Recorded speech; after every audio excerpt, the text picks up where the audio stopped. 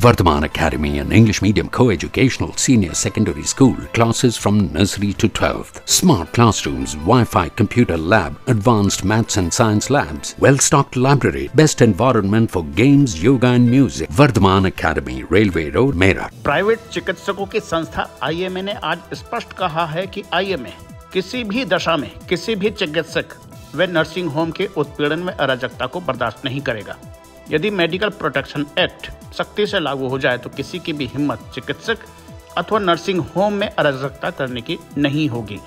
लगातार इस तरह की बढ़ती अराजकता को देखते हुए आईएमए योगी आदित्यनाथ शासन प्रशासन से इस एक्ट को प्रभावी रूप से लागू करने की वकालत की है।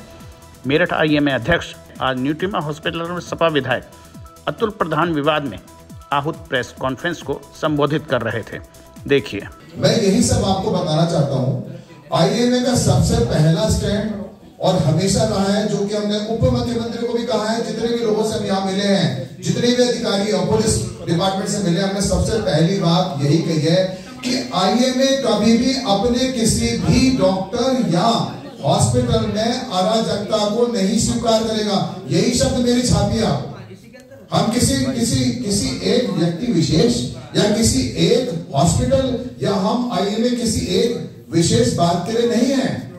IA IMA is a very broad group जिसके अंदर इतने सारे मेंबर हैं तो आईएमए जो भी बात करेगा, वो एक जनरलाइज बात करेगा। और हमने बहुत सख्ती से यही कहा है, सभी ऑफिशियल से, सभी पुलिस डिपार्टमेंट से, उप मुख्यमंत्री से, जितने भी लोगों से मिले, हमने ये कहा कि आईएमए का सिर्फ़ एक और एक स्टैंड है कि किसी भी डॉक्टर किसी भी नर्सिंग होम किसी भी जगह कोई भी अराजकता यदि हुई यदि अगर किसी भी डॉक्टर के ऊपर या वहाँ के स्टाफ के ऊपर मानसिक प्रताड़ना दी गई, अगर किसी तरीके से भी कोई ज़बरदस्ती किसी भी हॉस्पिटल के स्टाफ के साथ या डॉक्टर से की गई, उसको आईएमए कभी स्वीकार नहीं करेगा। यह हमारी बड़ी ब्रॉड टर्म है।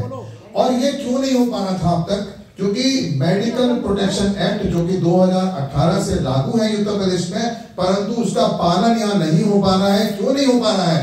क्योंकि ऊपर से कोई सख्त डायरेक्टिव यहाँ नहीं है। कोई सख्त डायरेक्टिव यहाँ नहीं है और हमने यही बात सबसे कही है कि इस इस जो मेडिकल प्रोटेक्शन एक्ट है, इसको सख्ती से यहाँ लागू करा जाए, पालन करा जाए। और इसकी जो धारा है, यदि कोई भी व्यक्ति, मैं इंक्लूडिंग अतुल प्रधान जी भी कह रहा हूँ अगर कोई इस, इस एक्ट को ढंग से अगर पढ़ ले तो वो हिम्मत नहीं कर सकता कि वो हॉस्पिटल में जाकर के इस तरह के राजत्व करे चाहे कोई भी हो। तो जब इस इस एक्ट की नॉलेज ही नहीं है ये आप लोगों का भी फ़र्ज़ है कि आप इस एक्ट को सब जगह प्रकाशित करें और लोगों की नॉलेज में डालें कि हम हम क्या कहना चाह रहे हैं।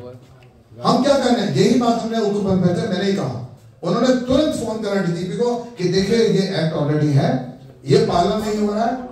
और इसका पालन करेंगे, सभी पुलिस और सारे पुलिस स्टेशन में और सारे पुलिस डिपार्टमेंट में उसको सर्कुलेट करिए और उसके अंदर एक्ट के अंदर बिल्कुल क्लियर लिखा हुआ है कि यदि कोई भी व्यक्ति अराजकता करता है और ऐसा माहौल करता है कि हॉस्पिटल की वर्किंग में, किसी डॉक्टर की वर्किंग में या और आईसीयू की वर्किंग में अगर व्यवधान पड़ता है, उसकी वजह से अगर और पेशेंट्स के काम करने में फ़र्क पड़ता है और उसकी वजह से कोई पेशेंट सीरियस होता है तो उसका सारा का सारा, उसका जो दंड है, जो वहाँ अपराध करने आया, उसके ऊपर होगा।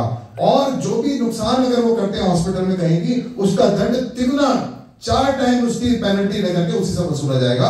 और ये मेरी पूरी बात सुनिए पूरी। और ये अपराध जो है नॉन बेलेबल है। मैं चाहूँगा ये बात बिल्कुल आप पहुंचेगी it's a non bailable offence जिसकी जिसकी जो जमानत होगी वो हाई कोर्ट से होगी। तो अगर ये सिर्फ़ ये प्रावधान आप अपने न्यूज़पेपर में छापे और सारे पुलिस स्टेशन में जाएँ हम लोग जाते थे पुलिस स्टेशन में क्या होता था? नहीं ये तो हमें पता ही नहीं ये कौन सा एक्ट आप बता रहे हो? ये समस्या थी अब तक। जब हमारे, जब हमारी आवाज़ को कहीं सुना नहीं जा रहा तो क्या हो और अगर ये एक्ट अगर ढंग से कोई व्यक्ति पढ़े तो उसकी हिम्मत नहीं कि वो जाकर के कोई भी अशिष्टपूर्ण, कोई भी अराजकता किसी भी डॉक्टर की व्यवस्था करे या कोई काम में व्यवधान डाले। इस खबर में फ़िलहाल इतना ही। आप देखते रहिए फ़र्स्ट बाइट डॉट टीवी नमस्कार।